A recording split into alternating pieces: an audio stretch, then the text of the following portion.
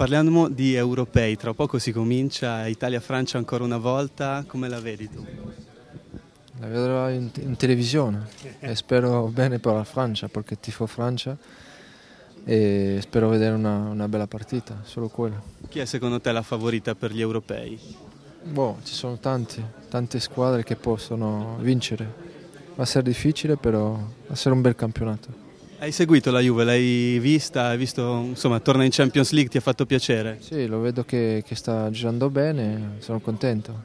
Solo una cosa su Del Piero, tu lo conosci bene, sta facendo una stagione straordinaria. Ti sembra strano che lui e Trezeguet magari non ci saranno agli europei? Beh, sempre comunque quando uno fa dei gol, come ha fatto ultimamente tre gol, normale che anche lui lo strano è che, che non va, però quello poi è l'allenatore che, sta, che, che sceglie è così.